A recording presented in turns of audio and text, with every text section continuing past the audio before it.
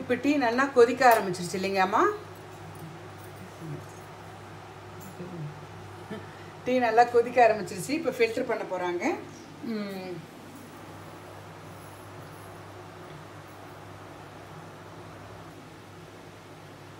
நல்லா கொதிக்கிறது கொதிச்செடுத்து இப்போ வந்து ஃபில்டர் எடுத்து பண்ண போகிறாங்க ரொம்ப நல்லாயிருக்கும் இவங்க அப்போ டீ போட்டாங்கன்னா அப்படின்னு சொன்னாங்க குடித்தவங்க அதனால தான் இவங்க கூட வீடியோ போடுறோம்.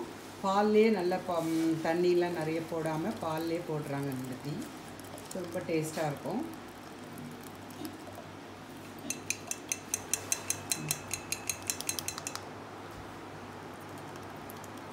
ஓகே எங்கள் ரிலேட்டிவ் வீட்டுக்கு வந்திருக்கோம். அதனால் அவங்க டீ போட்டுக்க காட்டுறாங்க இப்போ வீடியோ.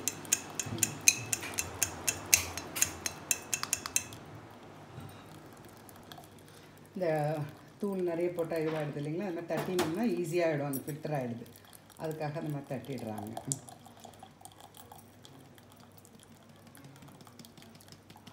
அவ்வளோதான் முடிஞ்சிருச்சு. இப்போ டீ ஃபில்டர் பண்ணியாச்சு.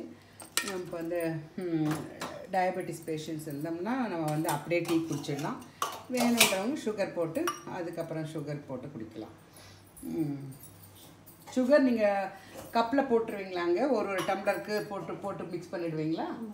ஓ ஓகே ஸோ இப்போ டீ ரெடி ஆயிடுச்சு. நீங்களுக்கும் அந்த டீ ரொம்ப பிடிக்கும்னு நினைக்கிறேன்.